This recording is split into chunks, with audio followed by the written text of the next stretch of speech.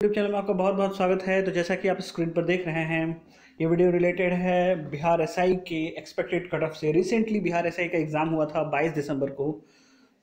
22 दिसंबर को एग्ज़ाम हुआ था तो उसके एक्सपेक्टेड कट ऑफ़ जा के दे सकते हैं, उसके रिस्पेक्ट में ये बात की जा रही है।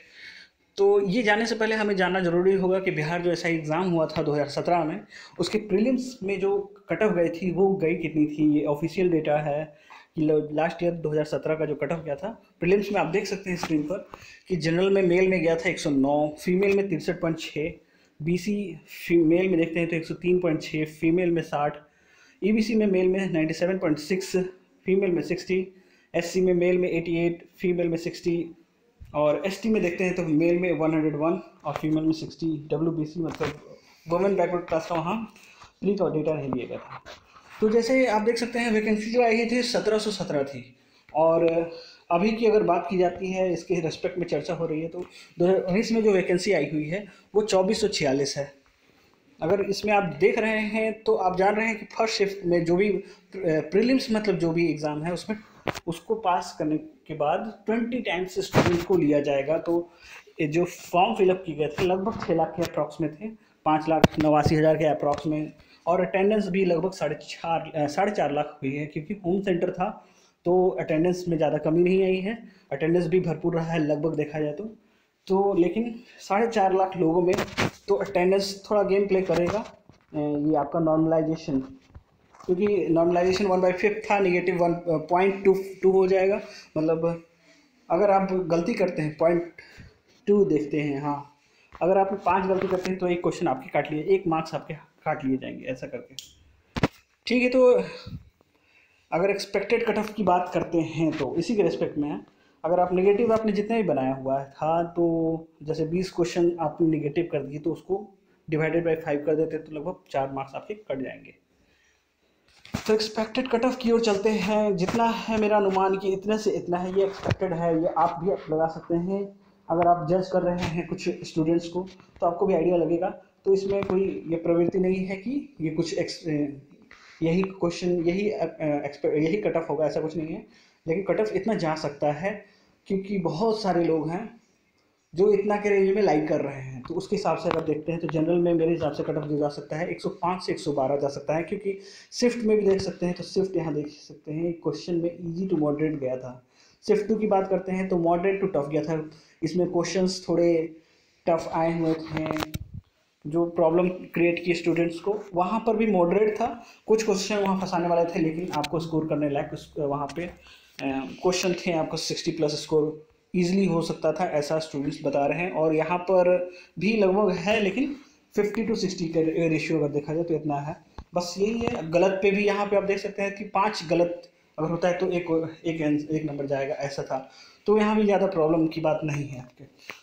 तो अगर आप इतना के करीब में भी हैं, पचपन, साठ के रेंज में तो आप लगभग क्वालिफाई कर जाएँगे, क्योंकि आपको वैकेंसी के अनुसार लगभग पचास हज़ार के अप्रॉक्स में, सैंतालीस, अड़तालीस हज़ार के अप्रॉक्स में रिज़ल्ट सेकंड राउंड के लिए मिलेगा। तो जनरल की 105 से 112 अगर फीमेल की बात करते हैं तो 65 to 60 sixty two to sixty five यहाँ आप देख सकते हैं पिछली बार जो गई थी 63 टू 63.6 गई थी फीमेल वाली। में लगभग इसी के रेंज में रहेगा कट ऑफ़ इससे थोड़ा सा ज़्यादा रह सकता है, थोड़ा सा कम हो सकता है। ठीक है? ई डब्ल्यू एस एक नया निकला मतलब जारी हुआ है, इस बार से नई जारी हुई है, इस बार। E W S Bihar police में। तो 90 95 के 90 हंड्रेड फाइव, यहाँ मैंने शायद लिख दिया 90 95 के अप्रोक्स में जाएगी सॉरी ये 95 इसको आप ध्यान ध्यान देना। और यहाँ ई डब्ल्यू एस की बात करते हैं तो 60 टू 65 वोमेन में, फीमेल में। बी सी की बात करते हैं तो हंड्रेड हंड्रेड टू के बीच में। और फीमेल बी सी में बात करते हैं तो sixty two, sixty sixty two sixty two. E B C में देखते हैं तो नाइन्टी फाइव टू हंड्रेड। और फीमेल में बात करते हैं तो sixty two, sixty one. S C की बात करते हैं eighty four to eighty eight और फीमेल में सिक्सटी टू सिक्सटी वन वही अप्रॉक्स सिक्सटी एस टी में देखते हैं तो hundred two to hundred five और इसमें बात करते हैं फीमेल में तो sixty two sixty one overall जो नॉर्मलाइजेशन गेम प्ले करेगा यहाँ पर, क्योंकि सेकंड शिफ्ट वाले के थोड़े टफ रहे हैं तो उनको थोड़ा सा मार्क्स इंक्रीमेंट मिलेगा और यहाँ पे ज़्यादा घाटा भी नहीं होगा फिफ्थ वन वाले को। तो लेकिन जो भी लगभग लाइक कर रहे हैं, आप देख सकते हैं जो जनरल मैंने लिखा है हंड्रेड फाइव हंड्रेड ट्वेल्व तो लगभग जो जो सौ मतलब fifty plus fifty two plus भी लगभग गए हुए हैं। तो लगभग सेफ़ जोन मान सकते हैं बट इतना है जो आपका, इतना आप मतलब एक श्योर रहेंगे आप। हंड्रेड फाइव से हंड्रेड ट्वेल्व के बीच में लगभग आप श्योर होंगे कि एग्ज़ाम आपका क्लियर हो रहा है और आप मेंस देंगे। तो उसकी तैयारी में लग जाए जितना भी इसके रिस्पेक्ट में आपके आ रहे हैं कट ऑफ़ ठीक है फ्रेंड्स और जिनके थोड़े से मतलब डाउन हो रहे हैं तो आप उसमें डाउन फील मत कीजिएगा। फीमेल की बात करते हैं तो अप्रॉक्स लगभग अगर सबकी बात करते हैं तो लगभग सिक्सटी रहेगा। क्योंकि वैकेंसी जहाँ तक मैंने आपको बताया चौबीस सौ छियालीस है। पिछली लगभग, पिछले से लगभग सात सौ अप्रॉक्स ज़्यादा है। सात सौ के अप्रॉक्स में ज़्यादा है, लगभग सात सौ सीट ज़्यादा है। और, लेकिन हाँ फॉर्म भी फिलअप ज़्यादा हुए हैं अटेंडेंस भी अच्छा खा, अच्छी खासी गिरी है। फिर भी कट ऑफ़ जो फीमेल के जाएगा, क्योंकि फ़र्स्ट राउंड है तो लगभग सिक्सटी के अप्रॉक्स जाएगा। और जहाँ तक मैंने ये बताया है, इतना ही के अप्रॉक्स में जो जाएगा जनरल मेल वाले में और ई e जितने भी हैं, ये इधर जाएगा।